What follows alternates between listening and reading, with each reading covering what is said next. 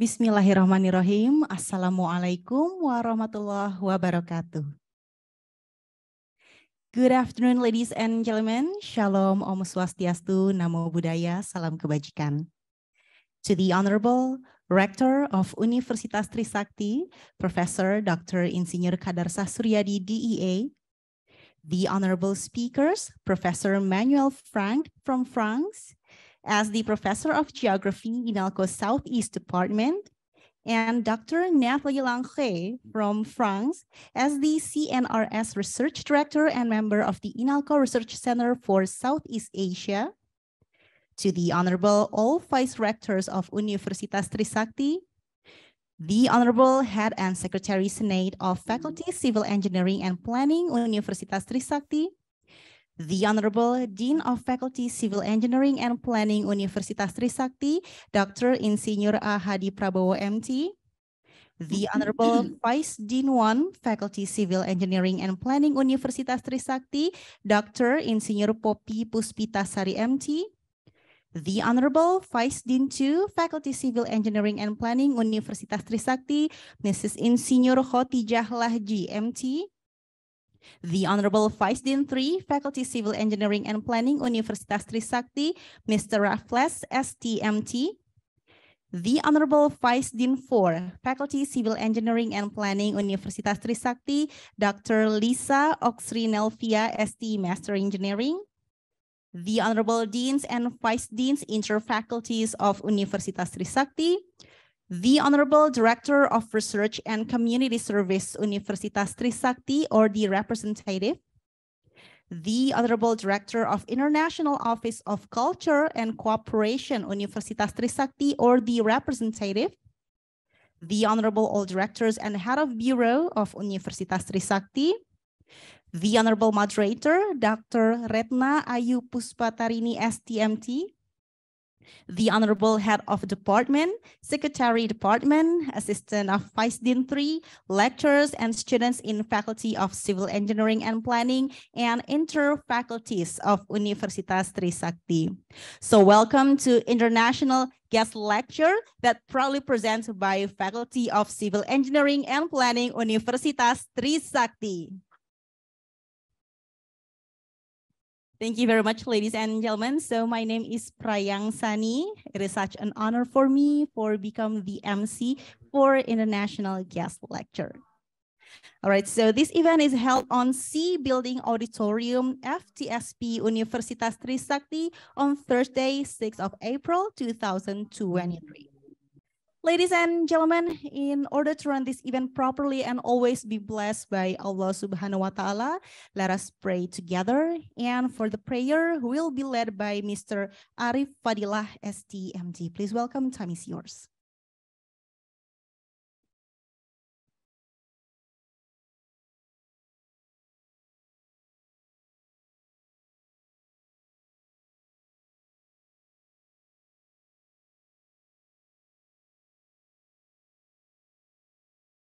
Assalamualaikum warahmatullahi wabarakatuh.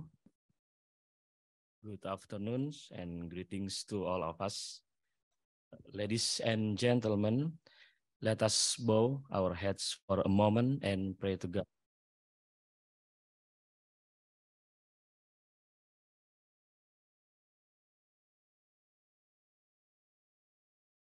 And those who are with other religions, you are pleased to pray according to your own beliefs. Thank you.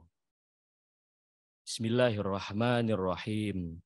Alhamdulillahi Rabbil Alamin. Wassalatu wassalamu ala Sayyidina Muhammad wa ala alihi wa ashabihi ajma'in. In the name of Allah, most gracious, most merciful. Praise be to Allah, the Lord of the worlds. Peace and blessings are upon our Prophet Muhammad sallallahu alaihi wasallam and his companions and for those who followed his example till the judgment day.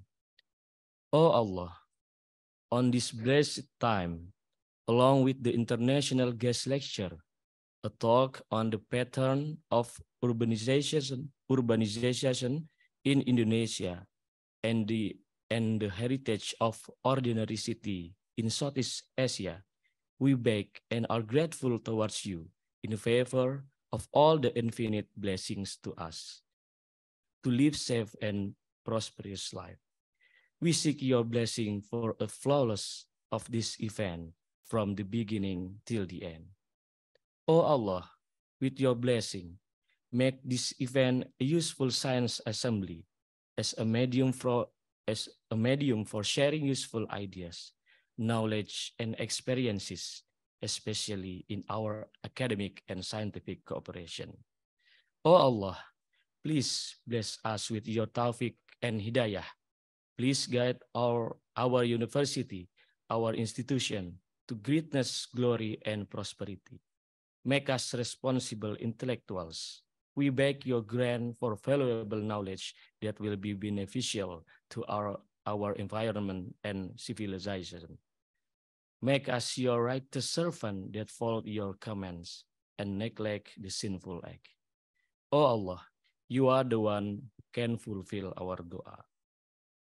Subhanaka la ilma illa ma 'allamtana. We have no knowledge except what you have taught us. Innaka antal alimul hakim. You are truly the all-knowing, all-wise. Rabbana atina fid dunya hasanah wa fil akhirati hasanah wa qina azaban nar. Sallallahu ala sayyidina Muhammad wa ala alihi wa sahbihi wasallam. Walhamdulillahi rabbil alamin. Terima kasih. Assalamualaikum warahmatullahi wabarakatuh. Waalaikumsalam warahmatullahi wabarakatuh. Thank you very much, Mr. Arif Fadila.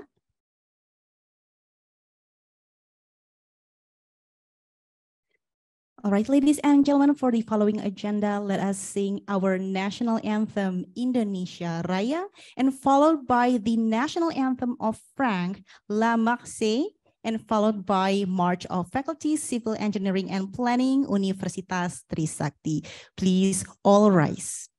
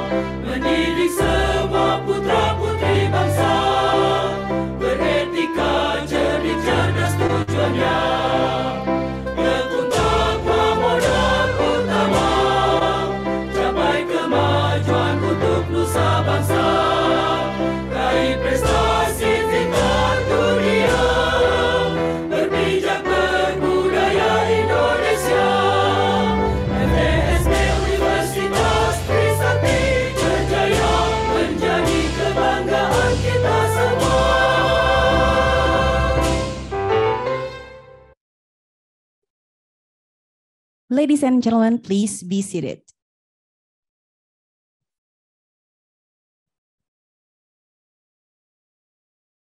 For the forthcoming agenda, this is the opening speech by the Dean of Faculty Civil Engineering and Planning Universitas Trisakti.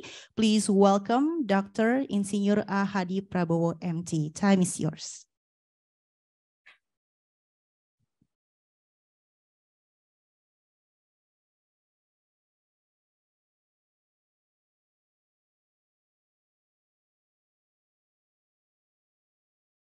Bismillahirrahmanirrahim.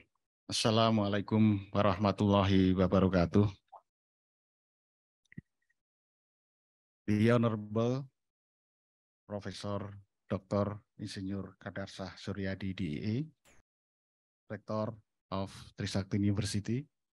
Thank you, Pak Rector, uh, have come to FTSP faculty. And Honorable Professor Manuel Frank, Professor of Geography, Geography uh, INALCO, Southeast Asia Department, France. And then Honorable Dr. Natalie Lansred, CNRS Research Director and member of the INALCO Research Center for Southeast Asia, France and then Honorable uh, Dean and Vice Dean at Trisakti University, maybe in a Zoom meeting. And then Honorable uh, my colleague, uh, the Vice Dean, Head of the Study Program and Secretary of Study Program at the Faculty of Civil Engineering and Planning, and ladies and gentlemen, lecture in Trisakti University and FTSP Environment lecture and uh, invited guests maybe in online or in offline. And uh, I'm proud of Trisakti University's undergraduate and master student. First of all, we thank the presence of the Allah, the Almighty God, that today we can attend a guest a lecture uh, entitled The Pattern of Urbanization in Indonesia and the Heritage of Ordinary City in Southeast Asia, which will be delivered by Prof. Manuelle and Prof. Natalie. Speaking of urbanization, is a movement of population from rural area to cities. Urbanization is very large number can have a very bad impact in various ways, such as limited housing, city are increasingly crowded and traffic uh, jam occur. The, emerge, the emerging of slum settlement. So it's necessary to make equal development effort in rural area, profit various from of the new job Meanwhile, the heritage of ordinary city is related to the implementation of conservation activities for city that have not been distinguished as heritage on an international scale. The implementation of preservation is used to maintain local value and city identity distinguished audience, guest lecture activity as part of improving the quality of education by gaining knowledge from experts who are competent in this field. It is hoped that this activity can be expanded into collaborative joint lecture, joint research, joint scientific publication, and student exchange. Thus, it can also expand to international network as one of the required in order to achieve an international reputation, FTSP has planned cooperation with educational, research, and business institution, lecturer, and student.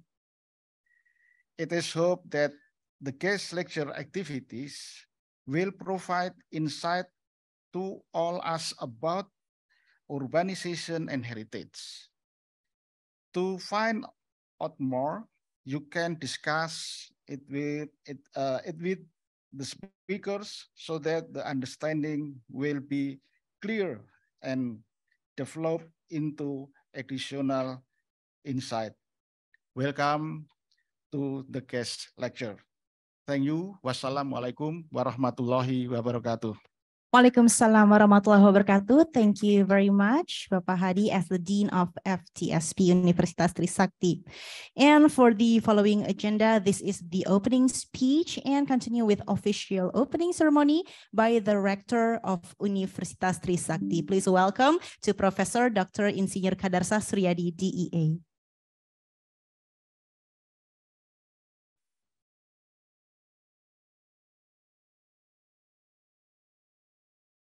Assalamualaikum warahmatullahi wabarakatuh. Good afternoon, Honorable Le Professor Manuel Frank, Honorable Dr. Natalie Langre, Honorable Vice Rector, maybe in the online the deans, especially the deans of FTSP, Dr. Hadi Prabowo, all of the vice deans, head of departments, and my colleagues or lecturers, and also my awesome students. It is great pleasure for me to be here with all of you, and I would like to express my warm welcome, especially to Professor Manuelle Franck and Dr. Natalie Lancret. And I would like to appreciate to the both of our guest lecturer, Professor Franck and Dr. Lancret. You have spent your precious time the very from far away from France. I know that if I go to, from Jakarta to Paris, it needs long, long journey. Eight hours from Jakarta to Abu Dhabi and seven hours from Abu Dhabi to Paris, plus the transit for or five hours. So the total is almost 20 hours in the travel. So once again, thanks so much for coming to Industry Sakti. And today, as Pak Hadi Prabowo mentioned that we have the guest lecture from our honorable guest lectures. And I would like to inform to Professor Franck and Dr. Natalie that uh, Universitas Trisakti has some international policies. Some already mentioned by Pak Hadi.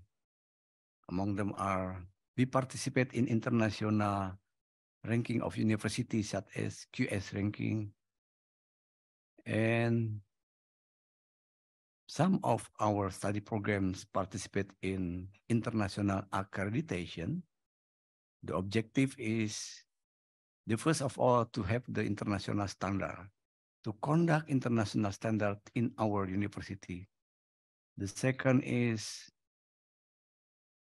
to conduct the continuous improvement based on international standard and the third is the most important is to have international recognition to our communities and also to our alumni. Another international policy is to conduct the joint research, joint supervision, and also double degree program For example, for master program, the student one year in University Sakti and one year in abroad. And at the end of study, the student has two diplomas coming from the both side. Another international policy is to have the student exchange. Student exchange is very important because it allows to have the international or intercultural cross cross cultural intersection. It means that we prepare our young students and our young student also in our partner to connect each other since the very beginning. Why? Because in the future, maybe they become the leaders in each country and it will facilitate the connection before or send today to prepare their journey in the future as the leader in each countries. The next international policy is to have the staff exchange because by staff exchange we have opportunity to enrich the knowledge of our staff and also when the staff from abroad come to Trisakti, it can give atmosphere to our university community. The next international policy is to have or to conduct the guest lecture. And today we have the guest lecture will be delivered by Professor Franck and Dr. Natalie Lancret. I hope that all of our academic staff, students, all audience to profit this opportunity to increase our insight because I'm sure that Professor Franck and Dr. Lancret have many insight, many experience, many knowledge that can enrich our knowledge and to increase our quality. And I would like to deliver my sincere thanks, Professor Franck and Dr. Lancret for coming to University Trisakti and for sharing your idea, your knowledge and insight. Ladies and gentlemen, allow me to speak in French to our honorable guest, Professor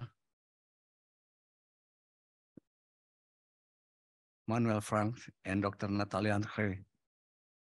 Je suis très honoré d'avoir votre présence ici. Et je voudrais exprimer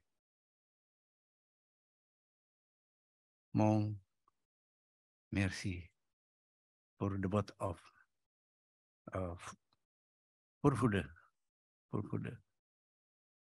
Because votre présence en Université permet pour nous tous d'avoir et d'enrichir notre connaissance, spécialement concernant urbanisation, architecte, etc. Aujourd'hui, nous sommes ensemble ici, pour écouter votre explication. En espérant, nous tous, nous tous avons de, le, la connaissance plus pointue, plus, plus large. Et encore une fois, ça nous permet d'enrichir notre connaissance et nos expériences. Merci beaucoup et je voudrais vous exprimer notre sentiment respectueux. Ladies and gentlemen, at the end of my speech, I would like to tell you and to uh, give you my inspiration. Hopefully, this seminar give all of us the very, very fruitful, the very, very fruitful knowledge, experience, experience and insight.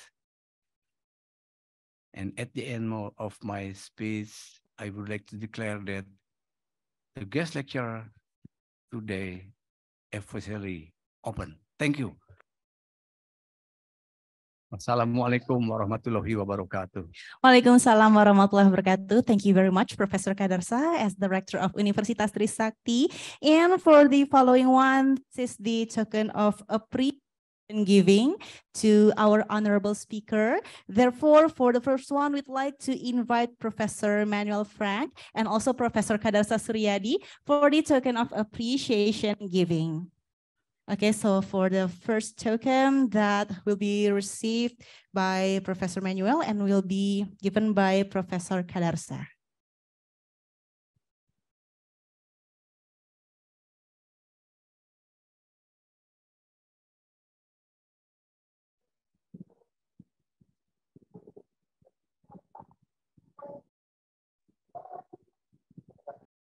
Thank you very much. Okay, so for the next one, we'd like to invite Dr. Nathalie and Dr. Hadi Prabowo to conduct the token of appreciation giving.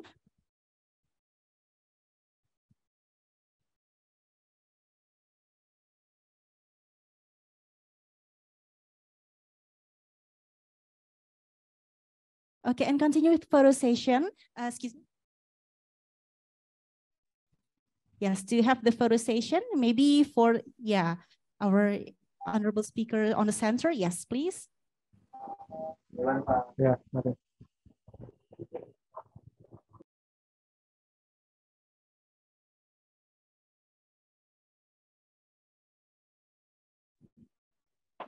Okay, and we'd like also invite uh, the all vice deans and then head of uh, department, secretary department of FTSP. Please welcome.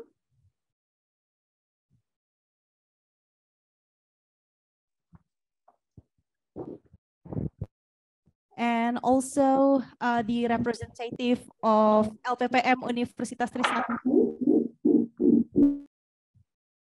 And have Euro, uh, Pak Head of Kabama, ya, yeah, Head of Bama.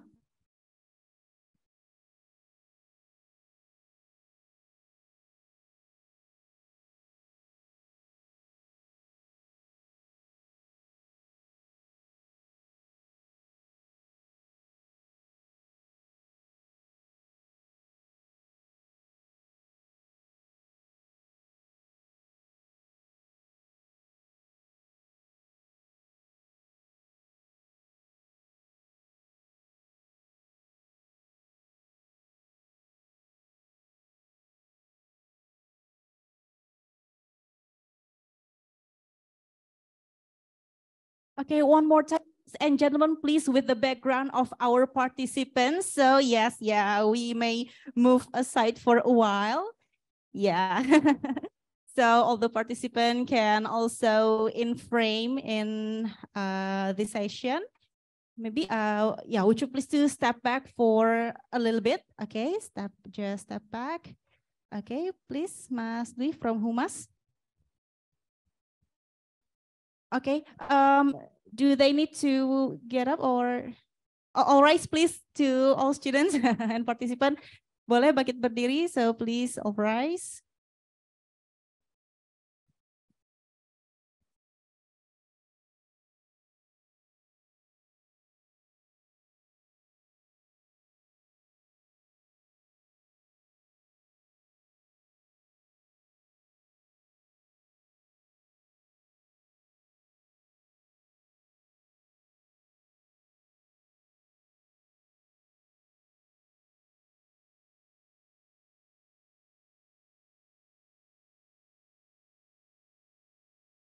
Thank you very much, ladies and gentlemen.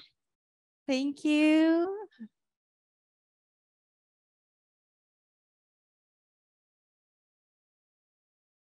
Okay, thank you so much. You all may heading back to your seat.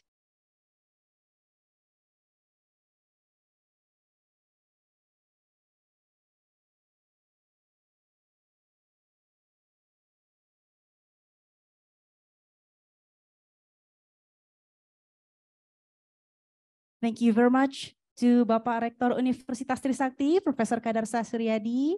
You are allowed to continue for the next important agenda. Thank you very much and we really appreciate for the attendance.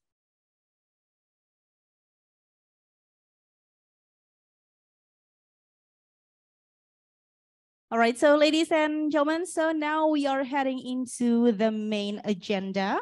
So we'd like to invite our moderator and the honorable speakers. So first, please welcome to our moderator, Ibu Dr. Retna Ayu Puspatarini, STMT. Please welcome, give applause, ladies and gentlemen. Okay, thank you. And for next one, we'd like to invite our first honorable speaker. Please welcome to Professor Manuelle Franck. Please give applause, ladies and gentlemen. And also we'd like to invite our honorable speaker, Dr. Nathalie Lancret. Please give a applause, ladies and gentlemen. Okay, so we have our moderator and our speakers here. And before that, please allow us to introduce our moderator, Dr. Retna, by reading her curriculum vitae. Dr. Retna Ayu Puspatarini, STMT. Her education background, she had graduated as Doctor of Architecture from Institute Technology of 10 November and graduated as Master of Architecture from Institute Teknologi Bandung and graduated as Bachelor of Architecture from Universitas Tarumanagara. Currently, Dr. Retna is working as permanent lecturer at Faculty Civil Engineering and Planning Universitas Trisakti, and also she's the Secretary Department Master Program of Architecture. And prior her work now, she was also the guest lecturer at Podomoro University, culture advisor for International Shadow Puppet Organization, freelance architect and non-permanent lecturer at Universitas Tarumanagara. She has many experiences on research project and architectural experiences spanning national and international, and also has many publications both in national and international journals. So without further ado, please welcome to Dr. Retna. Time is yours. Thank you, Ibu Prayang. Assalamualaikum warahmatullahi wabarakatuh. Good afternoon, distinguished guests, uh, Professor Manuelle Franck and Dr. Nathalie Lancret.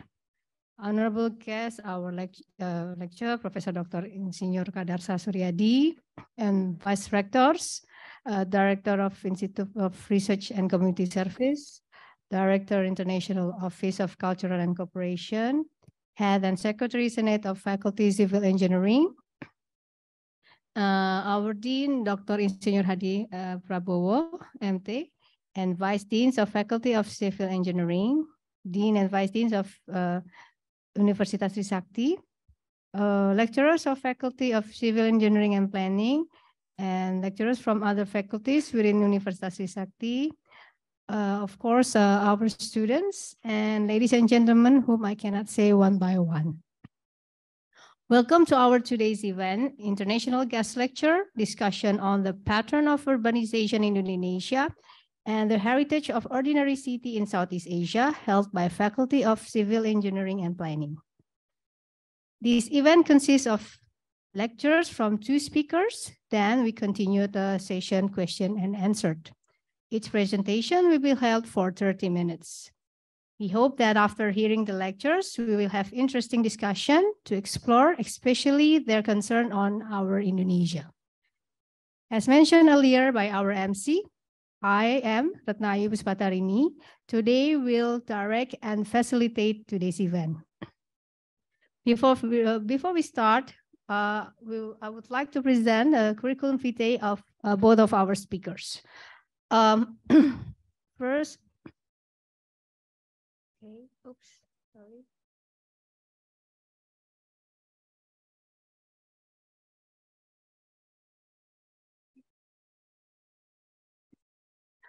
Uh, uh, Mas Rizal, CV, Manuelle Franck.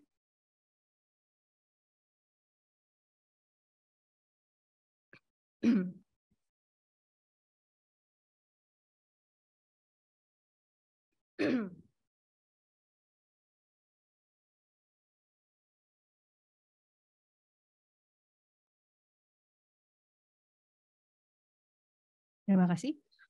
Man, uh, Manuelle Franck uh, graduated from um, uh, Professor Manuelle Franck uh, uh, has finished his uh, her PhD in ge geography of University Paris One Sorbonne, and then completes her master degree in history and also geography in University Paris One Sorbonne, and then the has had the, her diploma superior of contemporary Eastern Asia uh, from INALCO Paris, and she's currently a lecturer of in INALCO, specialized in geography of Southeast Asia.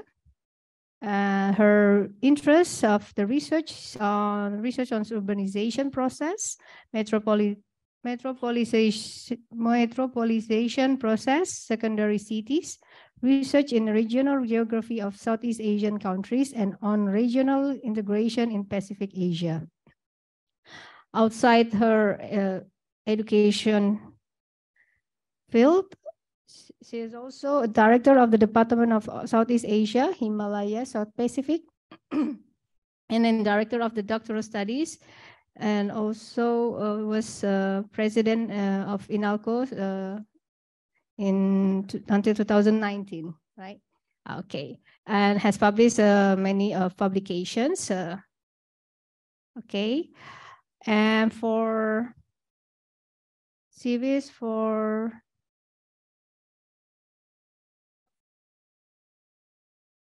Dr. Nathalie Lancret, uh, had her education for PhD uh, in urban studies from EHESS Paris, and then for master in architecture uh, in, in École d'Architecture de Paris Belleville, and then uh, got her diploma, diploma superior in urban studies EHESS Paris. And her position also, uh, she's a researcher since 2012 in French National Center for Scientific Research and her interest for research teams on contem contemporary development of cities in Southeast Asia, urban heritage politics, heritage of city, conservation and tr transmission of heritage by communities. And she published uh, many uh, publications. Okay, so without further ado, uh, well, the first speaker, uh, Manuelle Franck, s'il vous plaît. Merci beaucoup. Voilà. Yes. Thank you. Thank you very much for your warm welcome. Thank you very much, uh, Hadi, the Dean of uh, the Faculty of Architecture, the Vice Dean and all colleagues here lecturing and professors from, from Trisakti. And thank you also to the, the, the students coming to listen to us today. Um, so I'll, um, my presentation, so should I share my screen or, yeah, I, I don't know how it works with Zoom, but I can share this one. Yeah, I think. I think it's all right. Yeah, okay.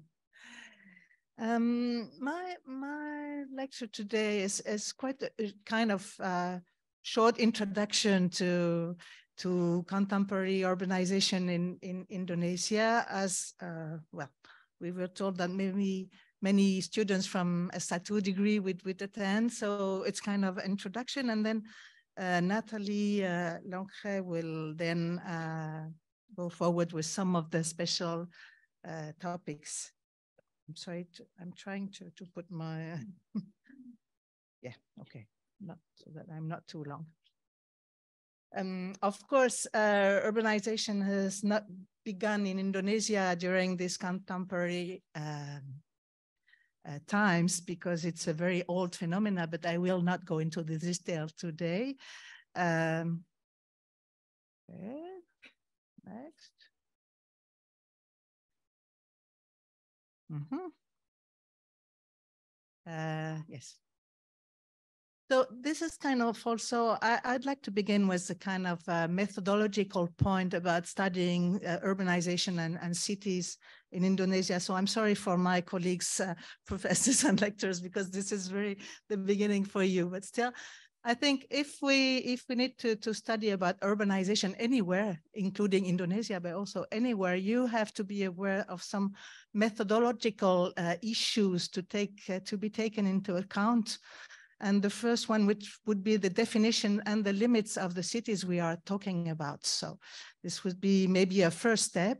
So I suppose you know much more than I do about Indonesian cities and Indonesian uh, definition, but when we study cities, we must be aware about the, the definition of cities. So in Indonesia, there are various uh, definitions, but the one which allows to to count the number of urban uh, people or the, um, the number of uh, population for a city, you need to know what the, the criteria, the statistical criteria are used. In Indonesia, the, the definition has been evolving over time, which makes it very difficult to compare the situation of urbanization of Indonesia from time to time the time series is very difficult because it, uh, the definition has changed.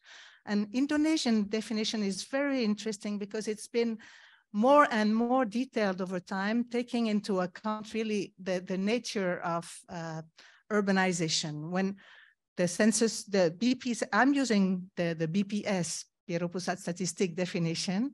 And in the 1960s, the definition was more simple. It was about 80% of the population, which uh, is a non-agricultural activity, and then also all the desa which were considered as urban were those included in the limits of, uh, of municipalities, but there were very few municipalities at that time, and also in Kabupaten capital.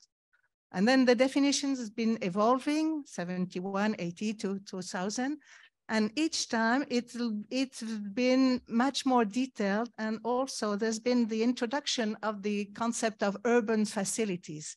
The question is to differentiate between rural desa and urban desa.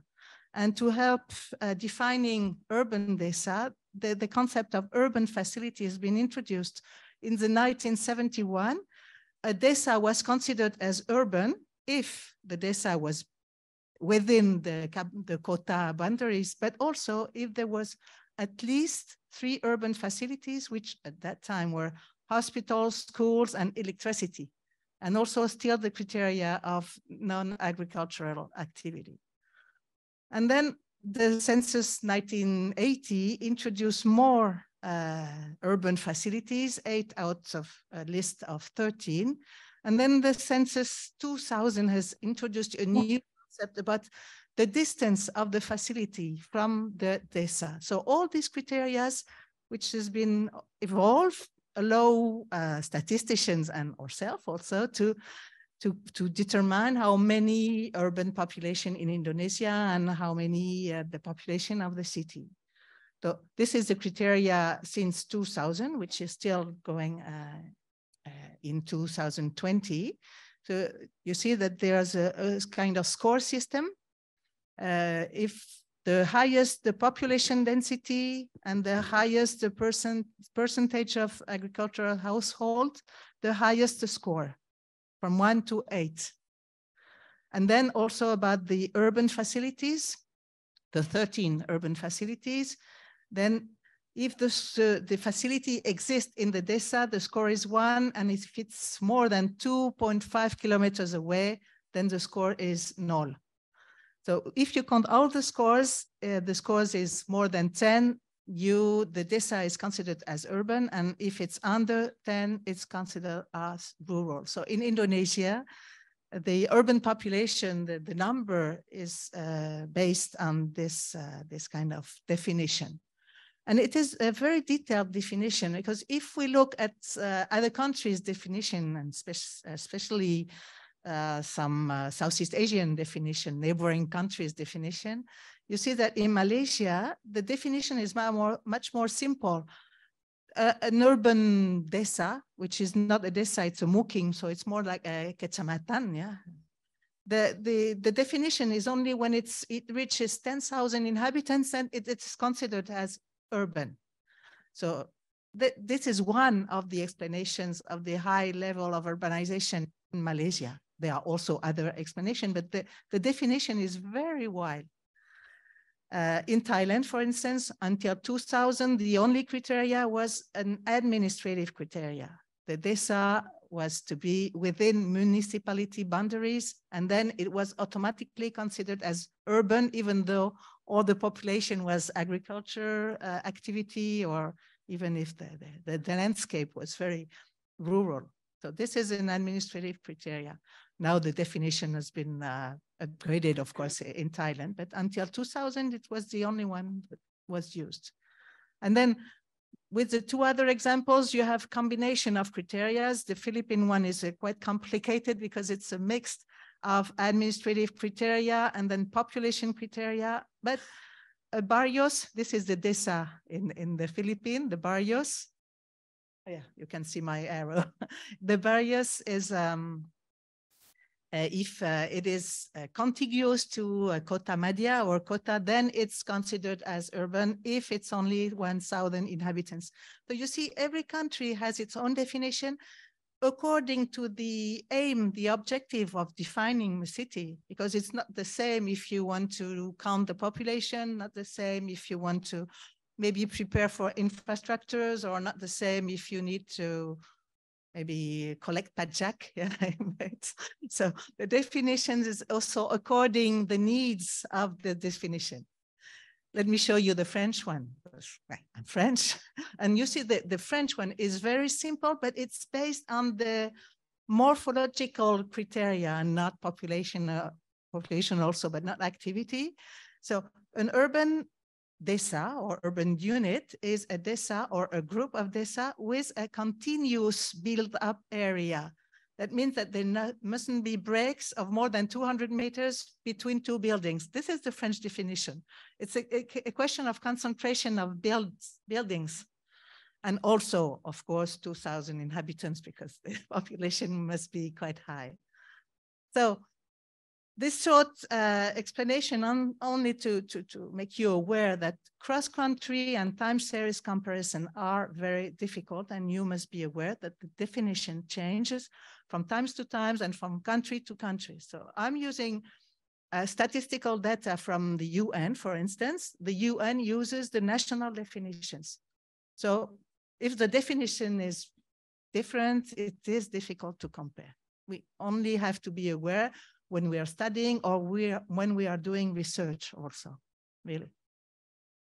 Second uh, methodological problem is the limits of a city. Where are the limits of the cities? So how many inhabitants in the city? Well, it depends on the limits you're taking it in, into account.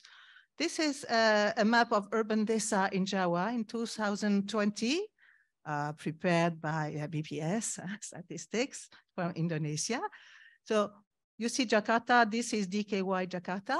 Huh? You know more about, about me, but you see that it ex expands very largely uh, over the boundaries of DKY uh, Jakarta. And also the Bandung city is very huge. Maybe let's skip to the central Java, go to East Java. And you see that in East Java, there's kind of continuous building uh, uh, from Surabaya along all the Brantas Valley and from Surabaya to Malang. So if we count the population of Surabaya, what should we count all this, only this, only this? Yes, you can do what you want, whatever you want. It depends on what you're researching on, what, what is the aim of uh, counting. So here, I don't have time, you, do, you know that more than I am, but uh, this is DKY Jakarta is 10 million inhabitants. And if you go up to Jabodetabek, it's almost 30 million inhabitants.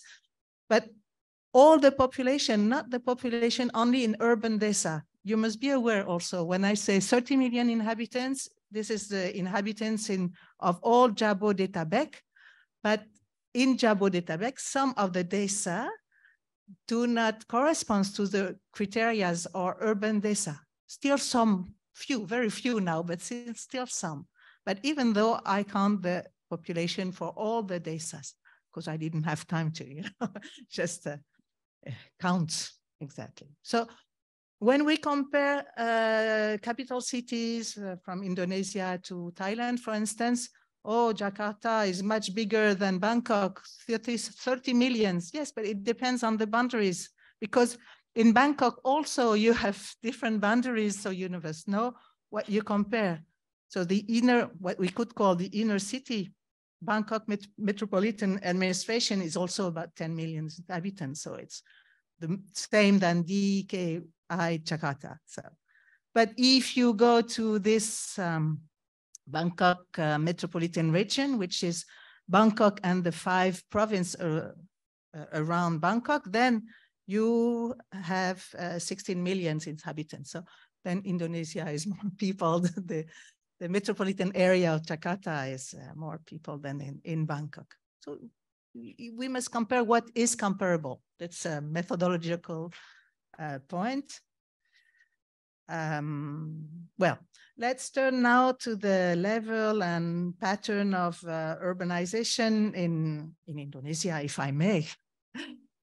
uh, the, here you have a graphic of the evolution of the rural population, this pink one, and the urban population, this red, more dark one, from 1950 to 2050. This is a projection, of course. Huh? And it's been prepared by uh, UN uh, and uh, Urbanet. So you see here the rural population, which has been growing until the 1990, and now it's declining and the urban population is growing much faster and it, it will continue to grow faster. Until now, there's about 55% of, of urban population in Indonesia, according to Indonesian definition that I mentioned just before. I don't have too much time to, to detail this, uh, this table, but it is for uh, every population census, the number of urban population, rural population, total and percent urban, percent rural. But what is more interesting is the rate of growth of urban and rural population. And we can see that the urban population always grow faster than the rural one. So there is a rapid process urban, of urbanization in uh, Indonesia. That is only what is shown here in this table. If we uh, compare a little bit with uh, neighboring countries, uh, the world average for urban population, this was in uh, 2018, the latest available uh, data from UN. Uh, the world average was 55.3%. The developed countries average was 78.7, developing country 50.6, and Asia was 50, all Asia, including China, Japan, and so it's 50%, and Indonesia is a little bit above the average of Southeast Asia, which is 49, which was 49 in 2018. And also here we see the evolution of uh, the, the, percentage of urban population from 1960 to, to, to until today. And you see for Southeast Asia also the, the growing, the, the rates of increase of urban population is also quite, quite rapid.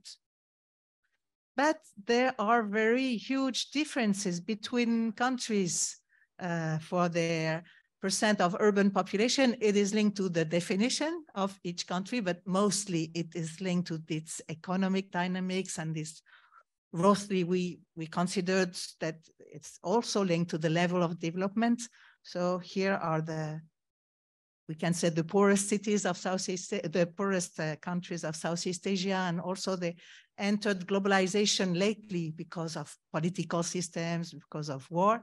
And here you see Indonesia, which is 55%. So Indonesia is one of the most more most urbanized uh, country of Southeast Asia, except for Malaysia, which is more industrialized, and also the definition allows very large number of uh, people to be counted as urban.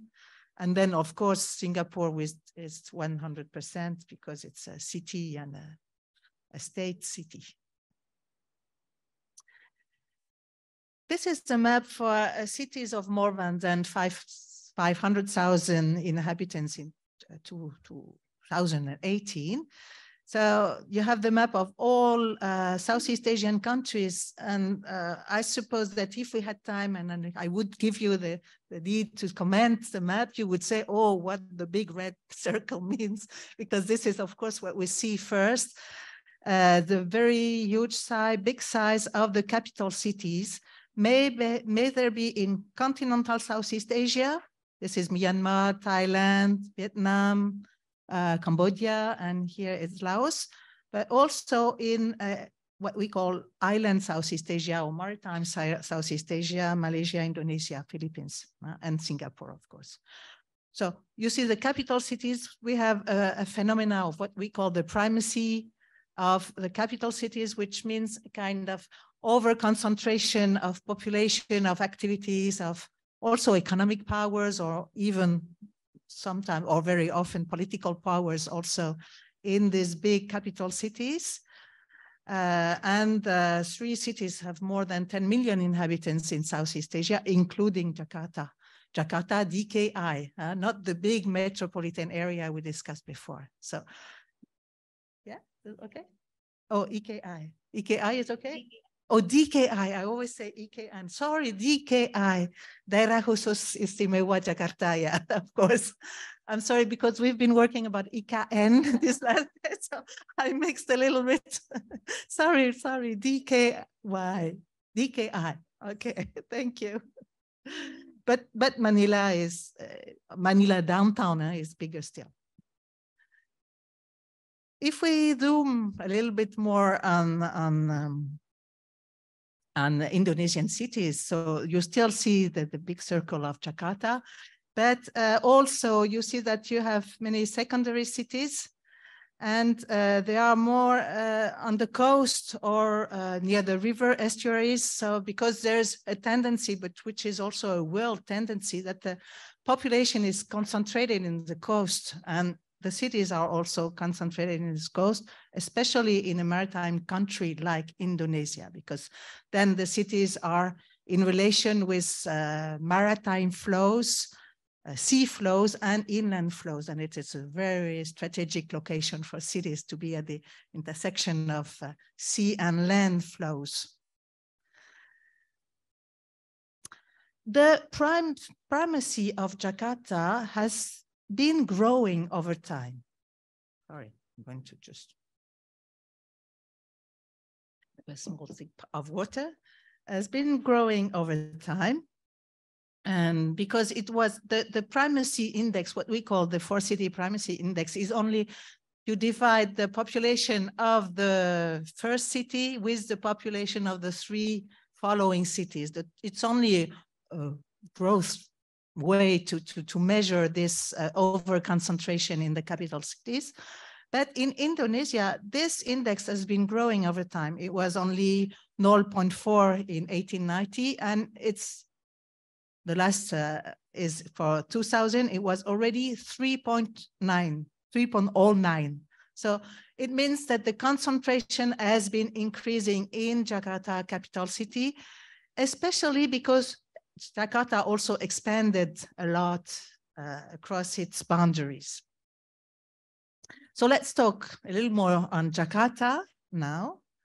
And uh, Jakarta is uh, undergoing a process of what we call metropolization. So sorry, as it's a lecture also for S1, I allow myself to give a definition of metropolization one of the definitions, because there are many, huh? but, but we can consider that the transformation of cities thanks to the internationalization of their economies, this is a process of metropolization, and it brings new activities in the city, new actors, and it transforms social, economic, and spatial pattern of the city. This is the, a process of metropolization which is linked to the internationalization of the economies of cities. And it produces specific shapes.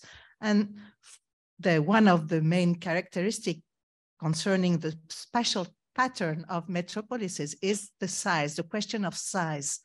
There's a large size of the cities. Metropolises are usually very big cities and the, its population is growing, is expanding very fast because it, they are attractive cities. And the urban area is also expanding very fast within a, a process of what we call urban sprawl to overlap the boundaries of the city. But the large size is a question for the city, but also for the projects, the projects that we say produce the cities, because in metropolises, usually um, you find major development real estate operations. Uh, and this is really associated with the internationalization of the urban production uh, also that brings maybe foreign actors of urban promotion, but here in Indonesia, you have also very, very important developers, but also the, the shape of the building is quite, quite sometimes influenced by uh, foreign architecture or the clients for these big developments may be foreign companies, even foreign uh, clients who want to buy in a in a real estate in Jakarta, for instance, that all this international context leads to this large scale project or allows large scale projects. So this is another characteristic for uh, metropolization linked to internationalization of the economy.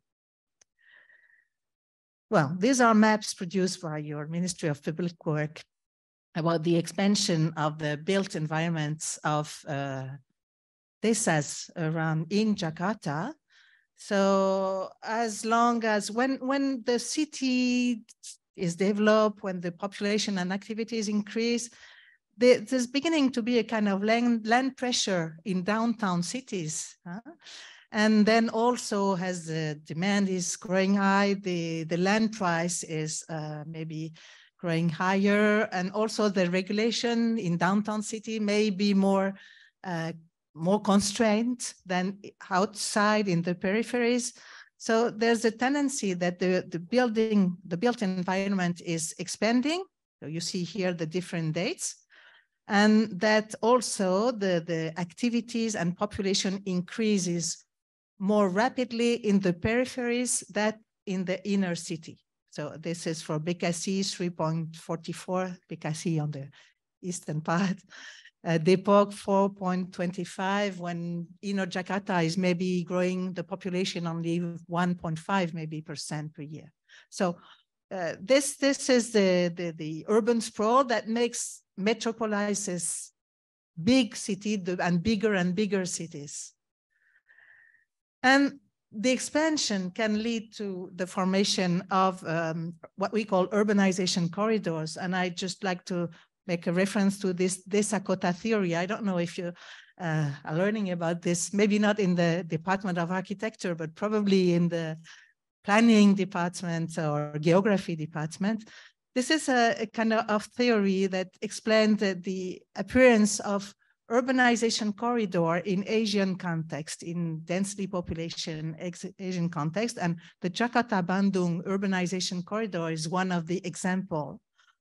Um, this um, Desa Kota theory is from Terry McGee, which who is a, a geographer from New Zealand, and I wrote the definition for you. Maybe you can catch the, the presentation later.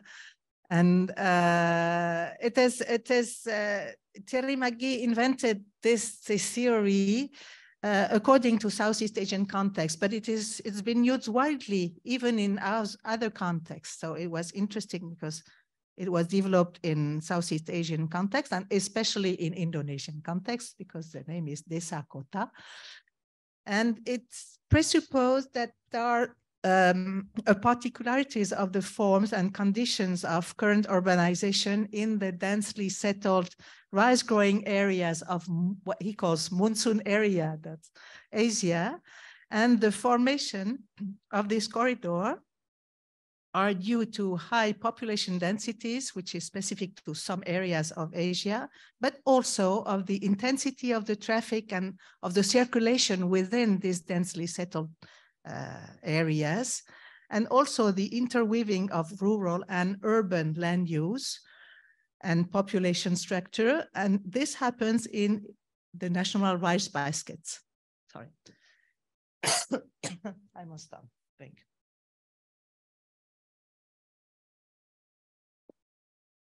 So uh, this is what uh, Terry McGee uh, explained. Sorry. I haven't been lecturing for, for weeks now, so maybe my voice is going down. so this is a theory of Desa Kota, but I think I will skip because I, I I'm running short of time. But the idea is that the urban and rural boundaries are blurred and there's really a, a, mixity of urban and rural activities and buildings and population in these corridors linking two main uh, cities, for instance, Jakarta and Bandung. So now I'll show you only some, some photographs of your city. So I dare to, and also some other cities. But historically, uh, the, the, the urban landscape in Indonesia was quite low rise because you have, Nathalie will talk more about this later, but you have some kind of uh, historical uh, uh, living area in, in Indonesian cities, the kampong, which has low rise. Huh? Uh, here you see one from the top and with very uh, narrow also road, well, you know, of course, all that. I think today, uh, maybe half of the population of Jakarta is living in such a, a kampong area and in smaller city more than uh, maybe three quarters of something.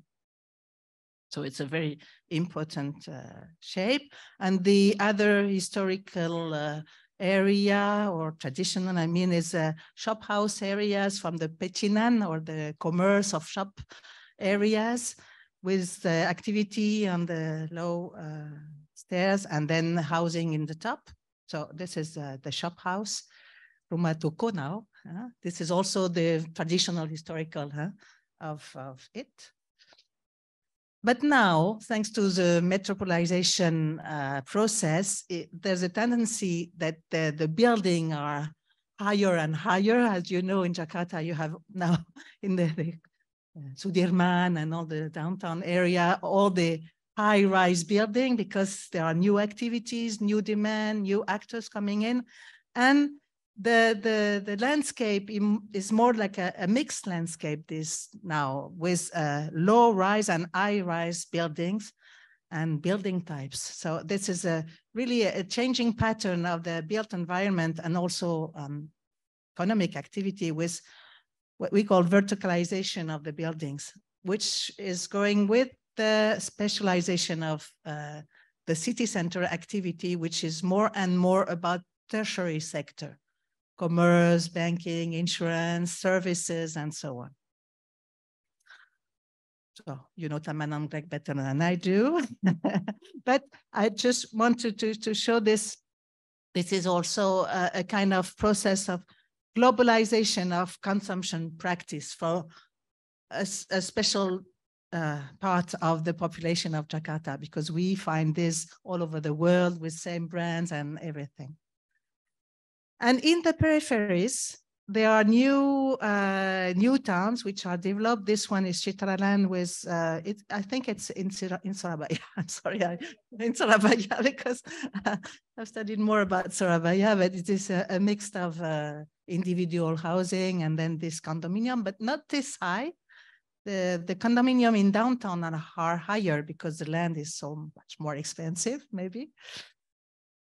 And also this Ruko, this Ruko uh, area, which is in the suburb of the city, because there the land is more available and also the land is cheaper. So you can still develop many kind of new uh, area to work. So it's like a shop house. The shop is here and then the house is upstairs if you need to.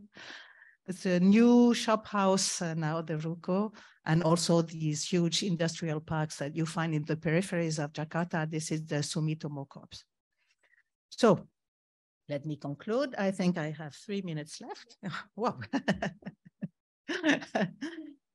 well, one of the conclusions, because this is only really a very simple introduction, and you see that there are many, many subjects to, to research when you're interested in, in metropolization and urban dynamics in Indonesia or in other countries, of course, uh, in other contexts. But what I've shown you is that the, the, the process of metropolization more and more is that the city is more and more produced to answer the needs of modern activities, sometimes international, and also middle and upper class inhabitants. I haven't shown you about the transport system, the, the, the highways, the urban highways to accommodate the individual cars. So the modern metropolises is produced and built to accommodate specific activities but also maybe classes of the society more. And also it introduces new center and periphery relations uh, because the city center is becoming more and more uh, specialized in tertiary activities where the industrial one has just uh, uh settled outside of the city center now. And the landscape is becoming more homogeneous with, with high-rising building and um, little estate, while in the peripheries you have the, the huge now population densities also and new activities that settle in the peripheries to find new towns, industrial estates. And this is uh, creating these desa kota corridors, urban corridors between two uh, urban centers. Then another field of research, but I haven't been taking talking about, but I think uh, Nathalie is more uh, will talk more about this. Is outside for, from this huge urban uh, urban project and this metropolization process and this modernization of cities linked to internationalization of its economy. What about the ordinary city, ordinary people like uh, us all, you know? And uh, what about this kampong or the satpam today still are, but until when and we, how will it change? There has been very important programs of uh, kampong improvement in Jakarta and also the building for also to, to accommodate also every categories of the population, of course. I haven't been talking about because when the metropolis uh, process, what is more visible is this modernization of the city. But of course, the other people and the other living area and the other activities are still here, of course, and they are part of the process also. Thank you very much for your attention. Thank you. Merci beaucoup pour votre présentation. C'est intéressant. well, um, uh, just for remind uh, that she, speaks so quick because it was presented for 45 minutes and then now for 30 minutes. So she, you see how quick that she has to explain uh, 32 pages of the materials. Okay, now Nathalie.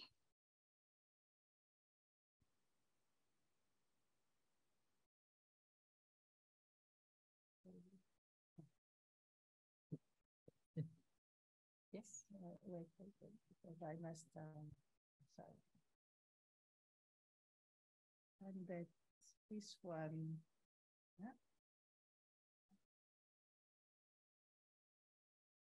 And then we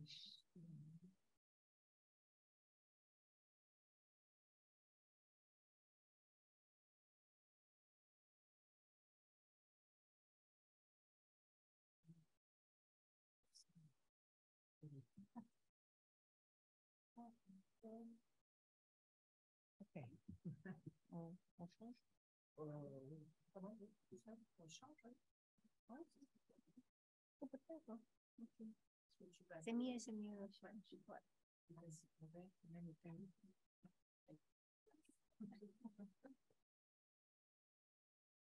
Votre dulu. So,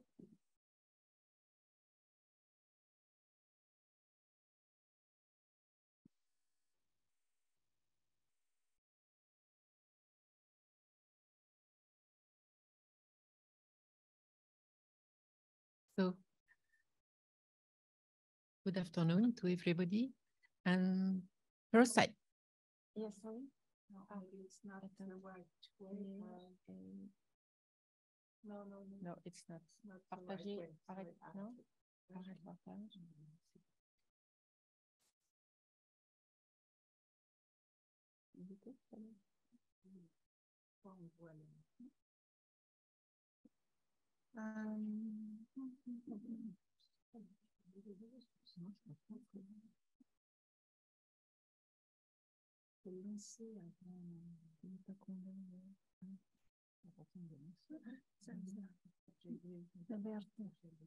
the right way. no? Ah, maybe I. chose the wrong one. Yes. No, no, yes, but yes, yes. will do Yes. that. Yeah. Okay. So, so first, I would like to say that it is a great honor to be uh, to be here today, and uh, thank you so much for uh, hosting us. My presentation focuses on the heritage of what we call the ordinary city in Southeast Asia. I am conducting this research with uh, Ibu Ririk dan Pak Punto from uh, Trisakti University and with other colleagues from Thailand, Malaysia, uh, Vietnam, and from France. For this study,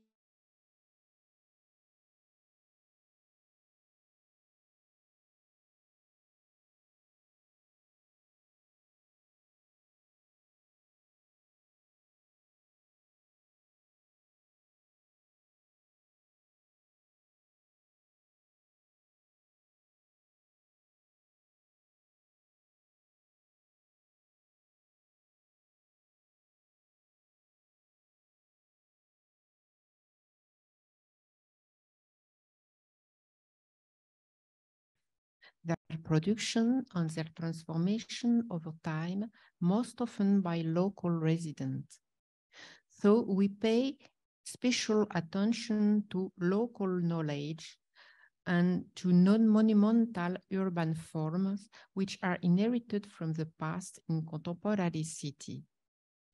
Our main research objects are merchant and residential neighborhood, villages, compounds, and informal settlement. For each, we are interested in both the built space and the social space. Now I would like to say a few words about the evolution of the heritage approaches in Southeast Asia, because this will explain why was the ordinary city taken into account so late. These urban components have long been neglected, even forgotten, in favor of monuments, palaces, um, temples, monasteries, and so on, and also in favor of urban composition in, inherited from agrarian kingdom. Historian researchers have defined, have defined or identified three types of city, the agrarian, merchant, and colonial cities. And the first heritage programs concern only agrarian cities which were the center and the capitals of agrarian empires located in rice field areas. These cities were characterized by their monumental and orthogenic composition. They were built in stone, that is to say, in long-lasting materials. On the contrary, the settlement built for the ordinary were built in wood and The other slide hasn't moved. Excuse me, please. The slide hasn't moved. Okay, thank you. Because it wasn't moving yet. Okay, okay. For example, in Java, the first heritage project focused on the temples of Borobudur, you can see here on the left on Prambanan, first by the Dutch and then by Indonesian government. Moreover, these temples were the first cultural site inscribed on the World Heritage List in Southeast Asia in 1991. Then the project focused on the historic city, such as Yogyakarta, you can see on the right. The city was founded at the end of the 18th century as the capital of the Great Sultanate of Mataram. Elsewhere in Southeast Asia, large urban archaeological sites such as Angkor in Cambodia were recognized as heritage. Angkor was classified on the list of World Heritage in 1992. On the list, you can see the large scale and geometrical composition of the Angkorian territory, which extend from the Kulen Mo Mountains in the north to the Tonle Sap Lake in the south. On the right, you see one of the main gates of Angkor Thom city. Then later, some programs were developed for the historical royal city that are still inhabited, still alive, such as the royal citadel of Rattanakosin in Bangkok with its palace, temples and monastery surrounded by a concentric system of canals. As you can see, the focus is still on the monumental component related to the monarchy. In the late 1990s, Heritage Focus moved to the merchant city, which I remind you are the second type of cities defined by historians. These cities have introduced a new architectural and urban composition, that is to say, the merchant street consisting of shop houses built in long-lasting materials. Some merchant cities have been inscribed on the World Heritage List, such as Hoi An in Vietnam in 1999, Melaka and Penang in Malaysia in 2008. This slide show, shows a map of Penang and Out Street. So I have tried to show you that the, the evolution of heritage project from monuments and city of agrarian kingdoms or sultanates to colonial merchant city and then to colonial settlement. It is the case of the old town of Jakarta, that you know, which was nominated on the tentative list of UNESCO in 2015. The other component of the cities, such as kampong, villages, lanes, and settlement of everyday life are not included in these heritage programs. They are not seen. Some say they are invisible, as well as their inhabitants. However, even today, these architectures constitute the majority of the built and living urban space. They are a key part of local history. In recent years, the ordinary city has begun to be taken into account by some actors, often by NGO that bring together heritage activists, including many architects and urban planners and local residents. Now, I would like to show you some examples of these actions. I will take three examples in three cities of Southeast Asia.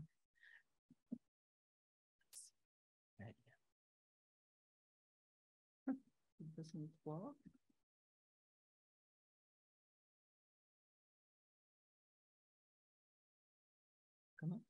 Okay. The first example is in Chiang Mai in the north of Thailand. Chiang Mai was planned to be the capital of the Lanna Kingdom at the end of the 13th century.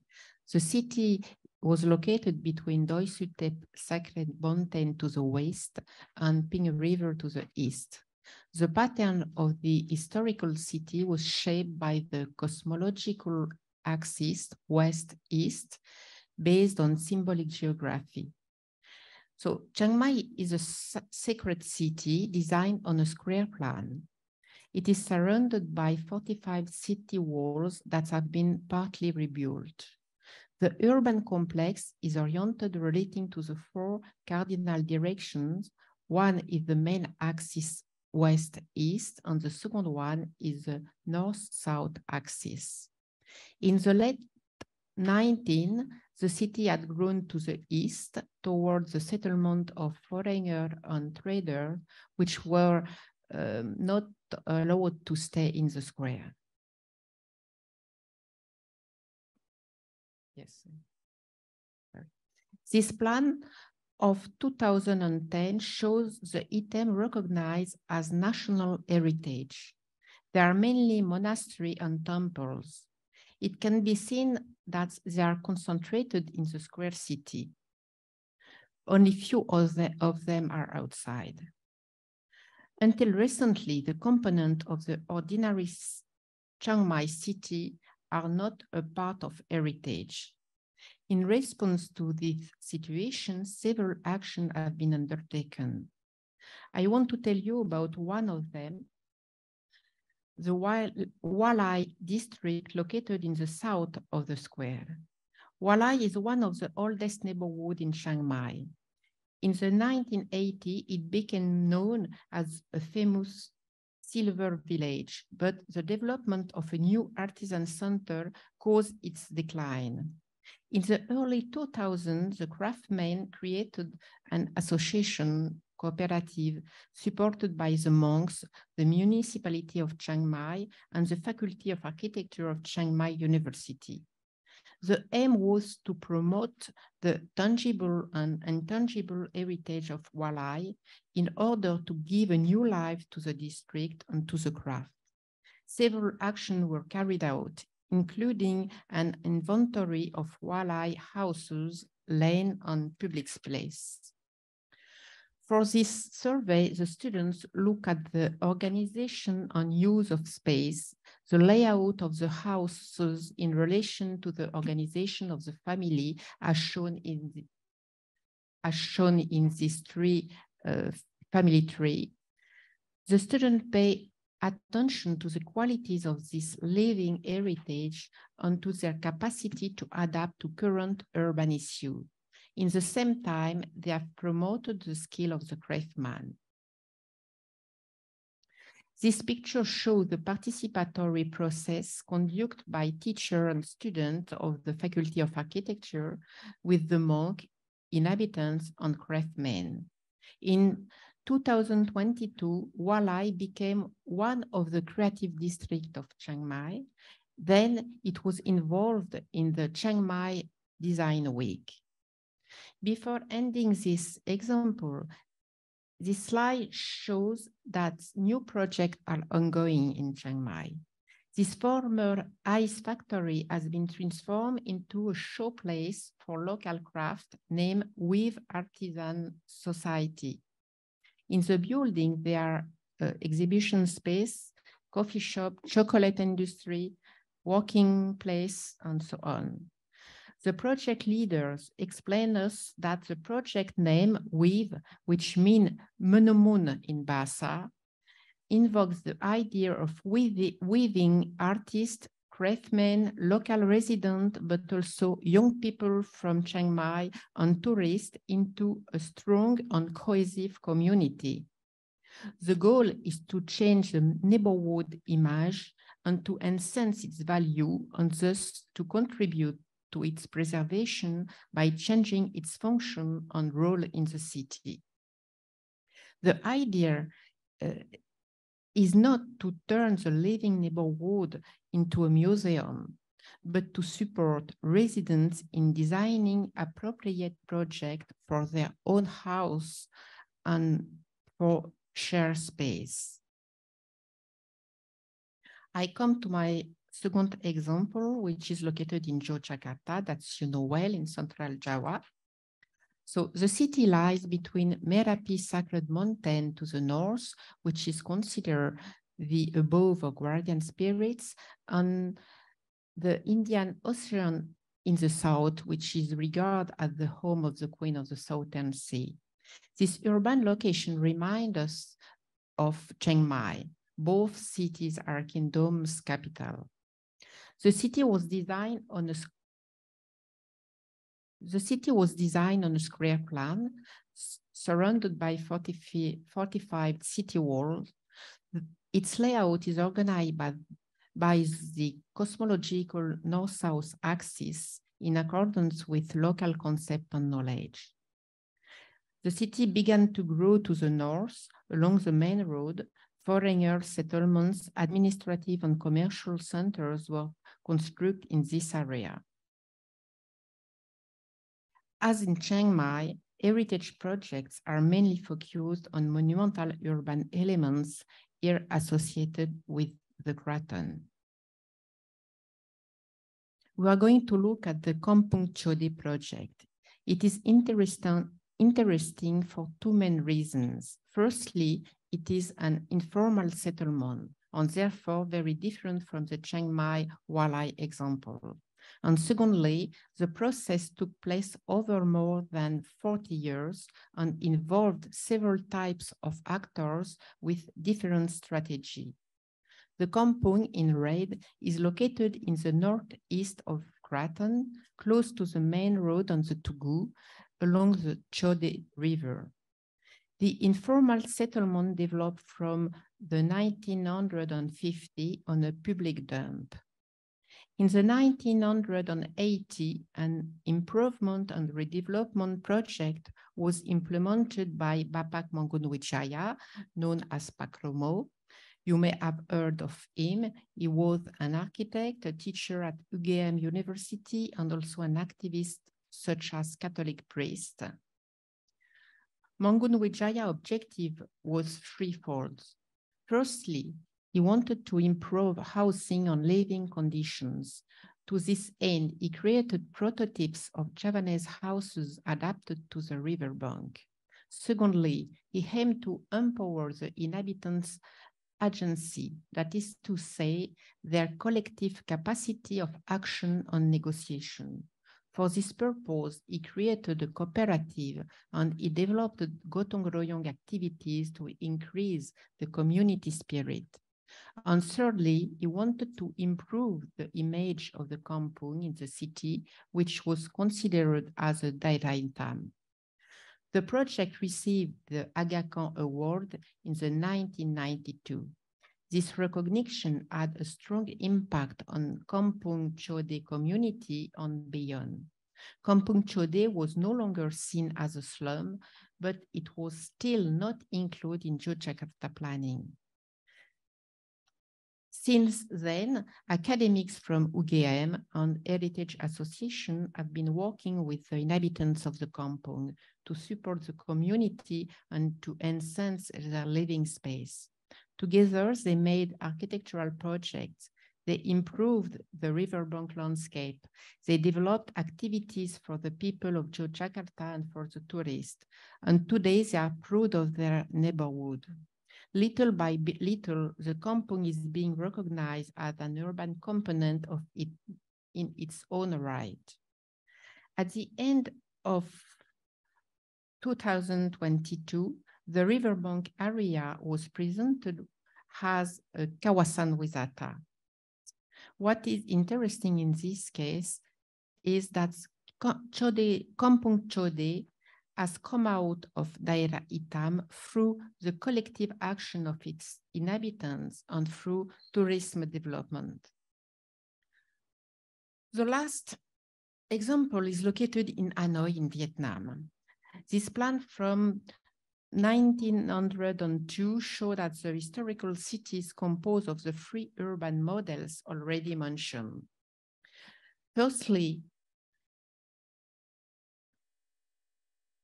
sorry. First, the Thang Long Imperial Citadel, which was built at the in the 11th century. It was the center of political and administrative power. The citadel was inscribed in, on the World Heritage List in 2010. Then the merchant city called the 36th Streets neighborhood. It was developed in the 15th century between the citadel and the Red River near the port. This is the quarter I am going to talk about. And lastly, the colonial settlement built in the south of the 36th Street between the Red River and the citadel. The town expanded from this historical core first to the south and then to the surrounding villages and rural areas. Let's look at the 36th Street neighborhood. Its urban morphology is characterized by the smallness of its parcel division and by the very high built on population densities. The area is organized by narrow street of four to eight wide, which enclose large blocks. These blocks are divided into narrow plots that run deep into the blocks. These plots can be 2.5 five to four meters wide and some 100 meters long or more. The buildings are of shop houses which have a commercial activity on the ground floor open to the street and residential activity on the upper floor. The interaction between the shop house and the street are intense and diverse depending on the time of day and night. The alleyways is a place are a place of business, but residents also treat their doorstep on street as a part or as an extension of their own home. As a result, various domestic activities such as cooking, doing one's laundry, installing ornamental plants, or burning votive objects take place in the alleyway.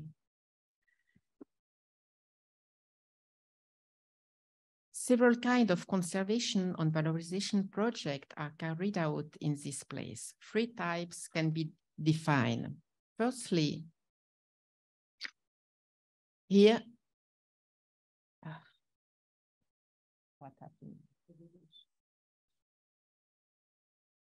Uh, yes, uh, here we see a project to improve a street facade that's has been done by the municipality of Hanoi. The shophouse facade have been renovated as well as the street layout. The aim was to improve their aesthetic qualities by standardizing their composition, the colors of the shophouses, and the street furniture. If at first the street may have looked a little fake, the activity soon recovered and the project seems to be a success. The second project was a conservation of uh, shop houses. It resulted from a cooperation between the municipality of Hanoi and the city of Toulouse in France. The shop house have been renovated to its presumed original state, probably at the beginning of the 20th century. It is currently used as a museum uh, and a restaurant. And so the third type of project are those carried out by the inhabitants themselves who adapt their shop houses to accommodate new function as hotel, restaurant, cafe, co-working place. They try to keep the ambiance, the spirit of the shop house on the street, which is now a tourist attraction while renewing their function and use. These three examples in these three examples, the shop houses project have become a model for local residents. They have been the inspiration for several other projects that spread through the neighborhood. So in conclusion, these case studies have shown the diversity of the component of the ordinary city and also the diversity of the heritage approaches undertaken. I would like to underline that this project supported by different type of actors which different objectives are complementary. They influence each other. The design are emitted, reproduced, transformed. In this way, the heritage of the ordinary city can develop further. These examples have also confirmed that urban inhabitants are not passive actors of the city production. On the contrary, they are key players in the, in the renewal of the built and social space of everyday life.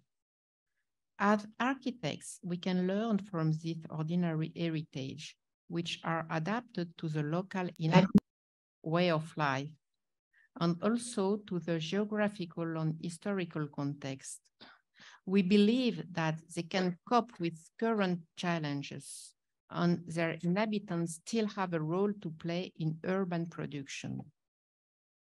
So at the end of this uh, presentation, I hope to have motivated you to study the ordinary city and its architecture. Thank you.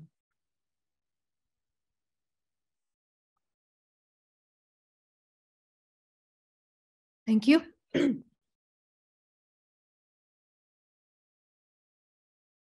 okay, um, Uh, sorry.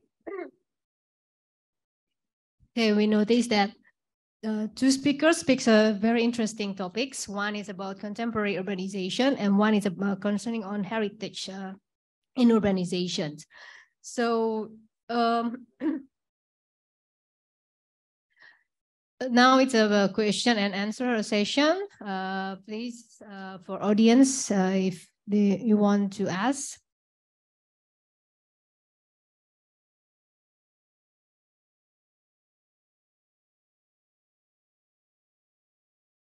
Yeah. uh, Mbak Bayang, could you help me uh, with Mr. Bambang for the mic? Thank you.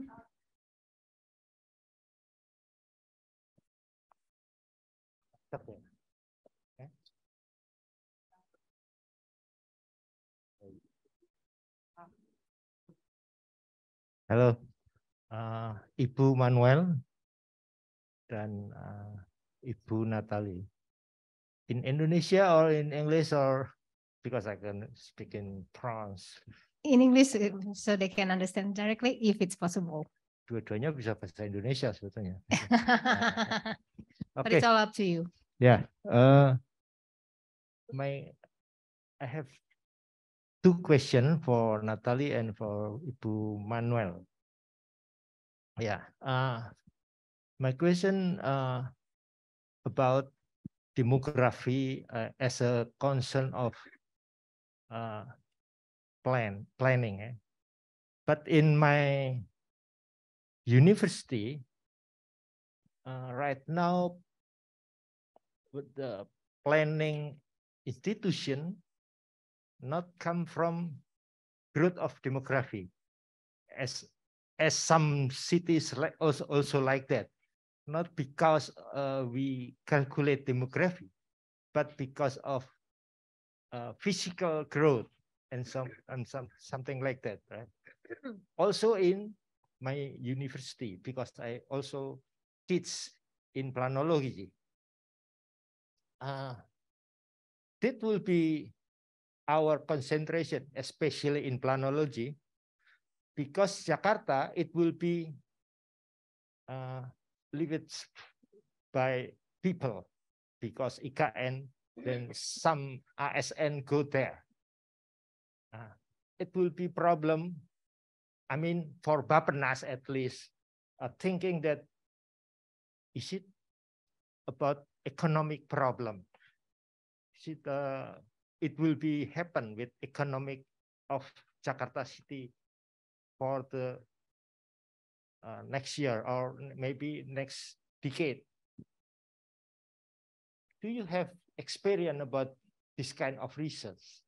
Because till now, I can submit anything to Bappenas to think about it. It's very difficult to predict what about Jakarta after uh, finish with the title of DKI. First for Mr.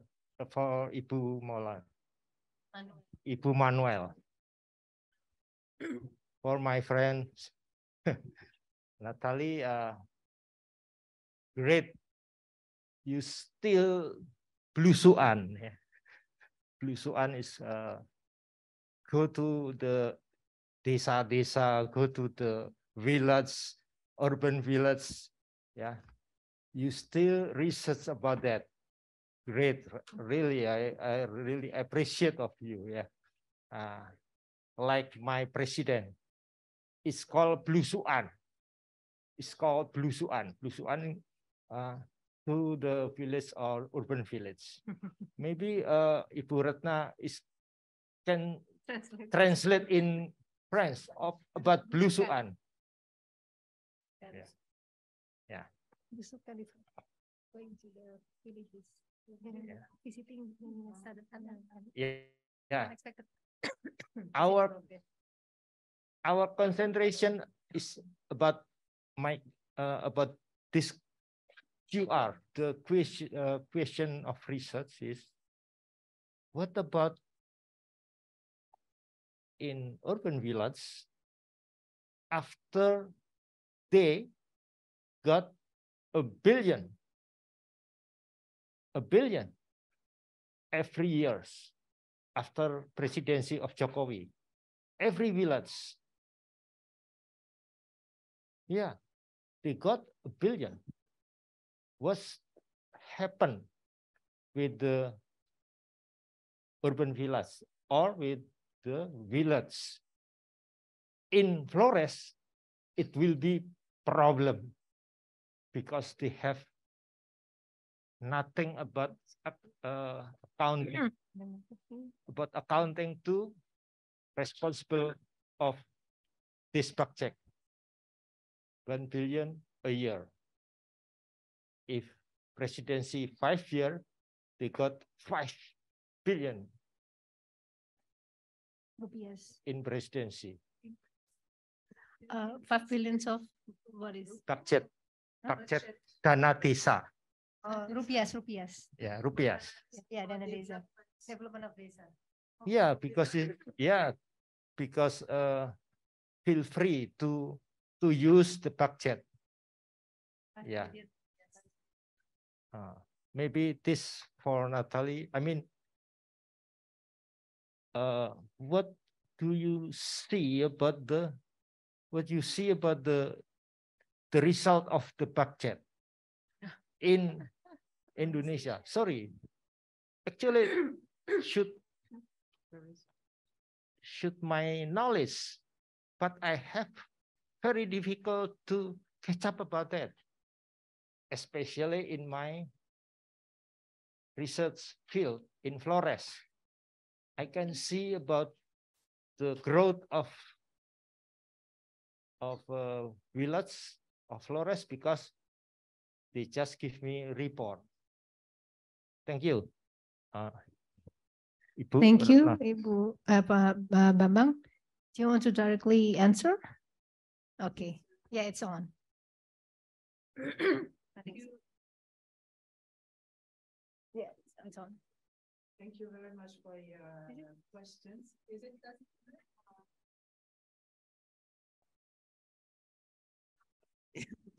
Okay, thank you very much for your question.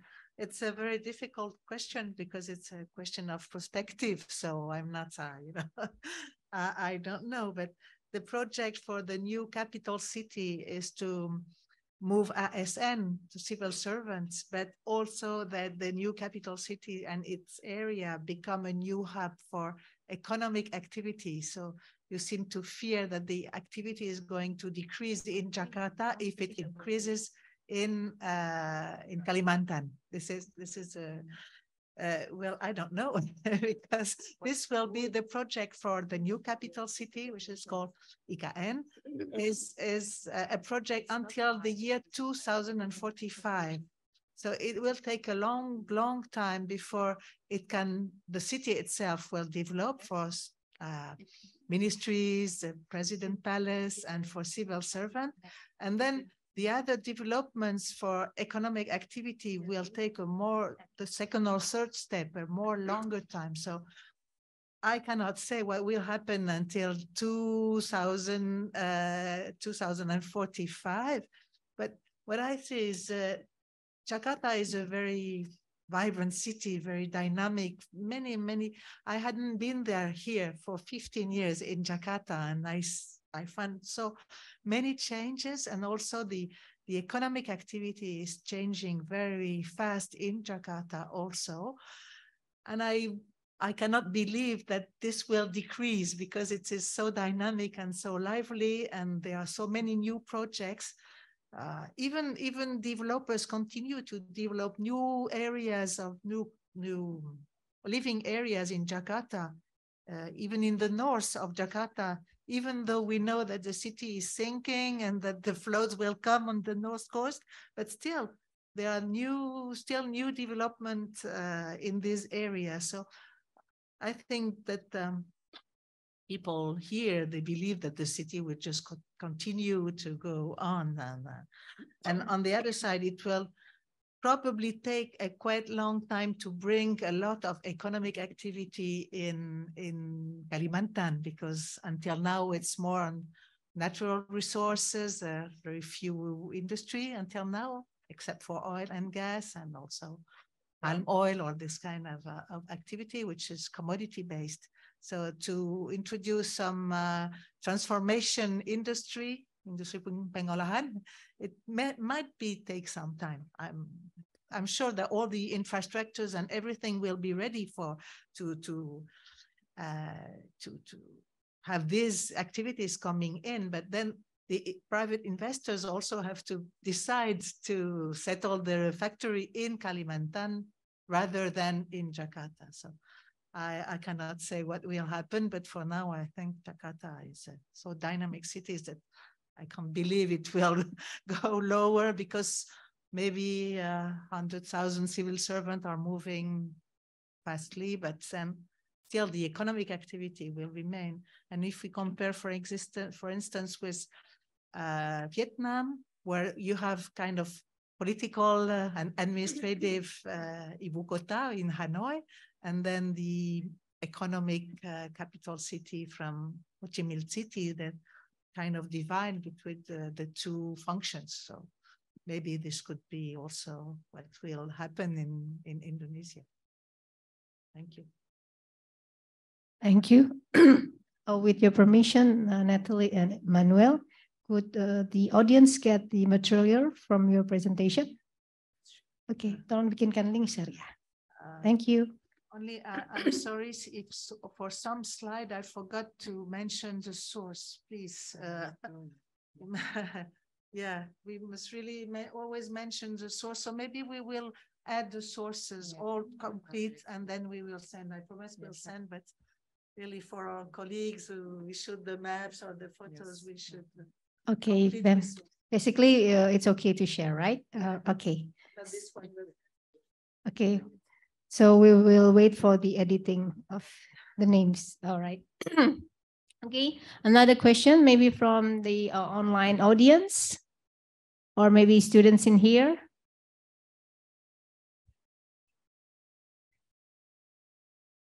Oh, no, no, no. Okay, uh, maybe Nathalie. Uh, maybe, maybe you want to uh, answer? Yes, uh, I don't know if I want to answer because it's a very difficult question. what happened with the village during the last uh, five years? Uh, it's difficult because you you know that during the last three four years it was impossible to come to Indonesia, so I didn't have the opportunity to go in the village to go in different part of Indonesia. It's the first no the second time I come back to Indonesia uh, after uh, Corona. So what I can see, what I can say maybe about the ordinary city, but not only in Indonesia, as I try to show you in Thailand and Indonesia too, it's uh, that's uh, more and more um, ac uh, academic stakeholder and more and more uh, inhabitants are really interested by uh, uh, the, the heritage of the ordinary city, and we can Euh, I could have uh, mentioned uh, uh many uh, example, uh, many case studies. we are we are um, we are doing um, starting a new research on Lasem with Didik and Pak, Pak Punto. And I think that the interest for the heritage of villages is growing, but it's still very few.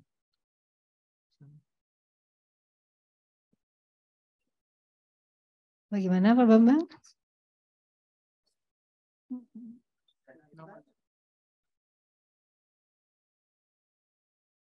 Dia, dia, dia, dia bilangnya belum tidak bisa menjawab lebih detail.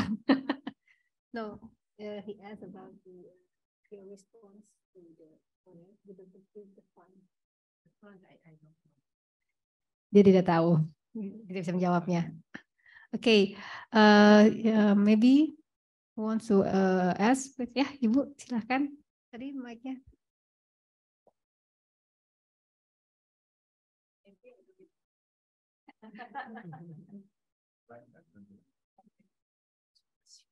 Thank you very much for Manuelle and Nathalie uh, for your lecture. It's very thoughtful. Uh, uh, maybe this time I I will ask a very uh, easy question for you. Uh, for Manuelle, um, well, uh, Jakarta, our biggest city, and but in our perspective, uh, the the development of Jakarta is not very ideal. It's tend to be uh, disorderly and uh, and and it's more or organically uh, sprawling. Yeah. Uh, so what do you think the the special of Jakarta of the development of Jakarta or, maybe the the urbanization of Jakarta uh, maybe comparing with the other city um, let's say Paris maybe. So so so what the special of Jakarta according to your study? Yeah. And for for Nathalie um uh what is your criteria for for ordinary city? And and uh, what's the special about the heritage in ordinary city?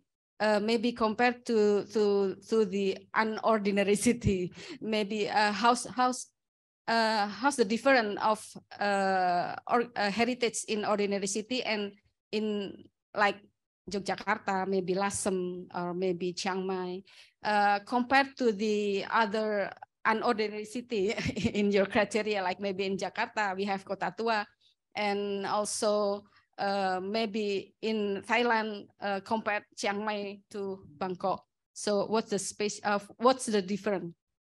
Uh, I think that's easy for you. Thank you very much. Terima kasih. Well, thank you for your for your questions. If I may, yes, yes, yes. Maybe for the, the Jakarta one, of course, the development in Jakarta is not ideal one. of course, I, I find it very dynamic and lively, but maybe it's difficult to live here every day because of the traffic, the pollution, the flood. So, of course, I know, but I know a lot of problems. But if when economic activity is concerned, it seems very, very uh, concentrated here in Jakarta. So that's what I, I meant before. But of course, it is not ideal on a planning point of view. And well, I'm not a, a, an urban planner, but uh, I see that maybe one of the big problems, probably many, including water problem and flood and also everything, but the, the infrastructure uh, problem and the public transport it's it's really uh, probably a, a, very big problem because the city is expanding, the built environment is expanding, overlaps the boundaries, but then the public transport system is just running behind the extension of the built environment. So it's become very difficult to to to circulate uh, in the city, and maybe this is uh, one of the the problems that I see if compared to Paris, for example. But Paris has um, the most dense uh, underground metro uh, system. We have how many lines? Maybe 14 lines of metro, north, south, everything. It's very dense, more denser than in London, for instance. And, and it allows the city to, to, to grow and still people can have access to downtown, the center of the city, because they can still use the public transport system. So uh, when, when you talk about planning, you have many uh, different uh, questions that you have to address, but uh, this one of public transportation seems to me quite, quite urgent, and it's very late in Jakarta if compared to Bangkok, for instance, but same in Manila. So thank you. Maybe uh, maybe I will ask to to to, to Manuelle to, to speak in English. It will be easier.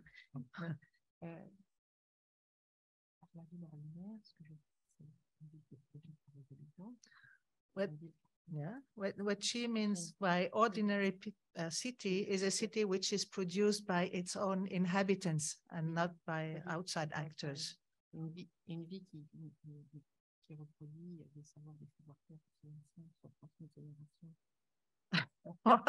so it's difficult. That's why.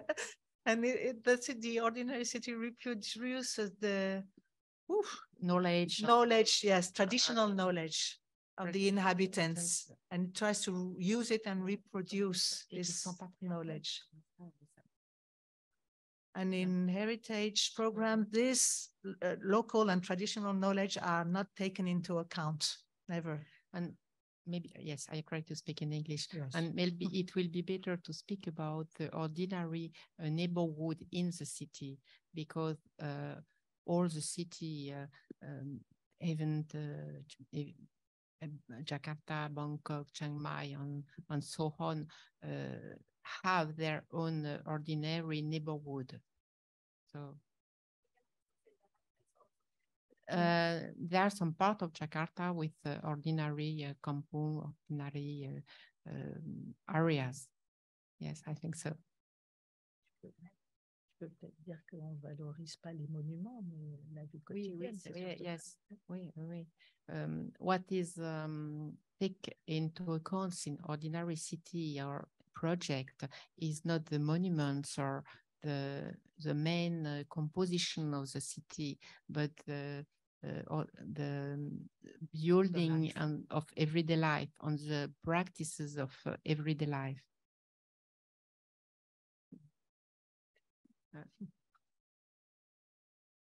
Thank you. So because time is uh, running out, so uh, do you want to add uh, the answers? Is it final? Sorry? Okay, thank you. So uh, in in a brief that I can give a conclusion, uh, in defining urban area, we need to understand definition of urban and application of the right methodology. In giving definition, we need to make criteria where involving time frame, inhabitants, facilities, and geography boundary. And each country has its own criteria to define urban. As in Indonesia, the context is uh, desa kota. That's what you said, right?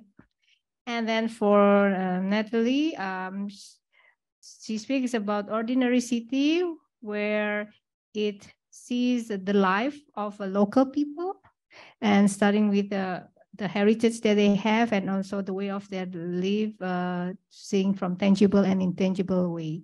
And in the big city, there's also like ordinary areas. So ordinary is not only ordinary city, but can be also applied in the big cities. Is that the conclusion? All right, then.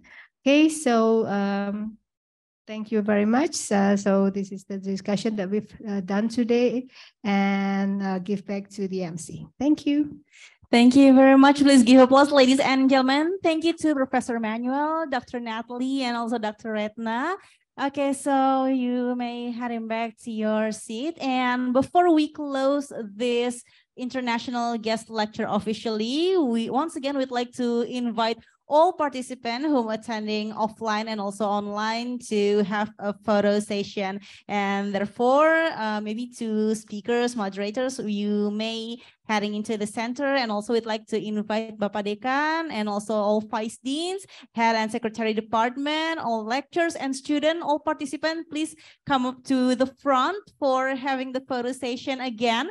And also we'd like to invite all the online participants from Zoom. So would you please to turn on your camera? Okay, so please welcome ladies and gentlemen.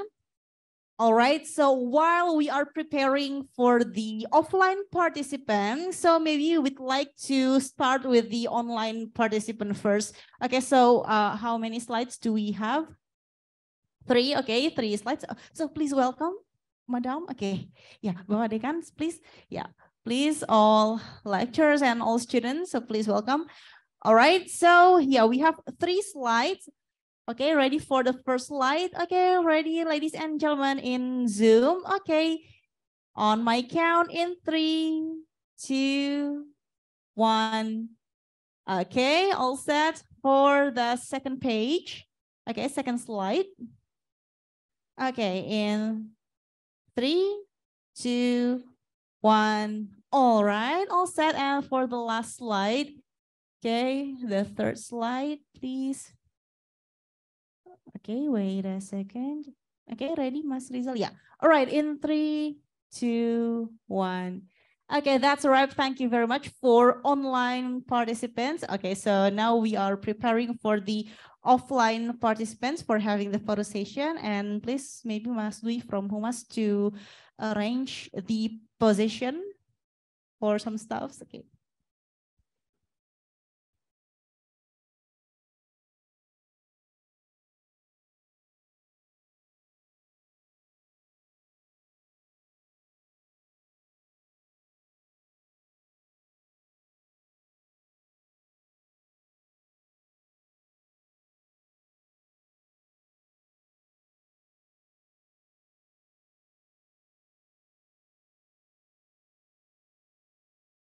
Thank you very much once again. Thank you to all honorable guests and all board of FTSP Universitas Trisakti and all participants who are attending offline and online. So this is the end of the international guest lecture presented by FTSP Universitas Trisakti. I'm Prayangsani on behalf of the committee would like to say thank you so much and we are apologize for any inconvenience and wishing you all the best for the next journey and wishing you we can uh, we hope we can meet uh, in another occasion. All right so last but not least we'd like to say wabillahi taufiq wal hidayah. Wassalamualaikum warahmatullahi wabarakatuh. Thank you good afternoon. Au revoir stay safe and stay healthy. Thank you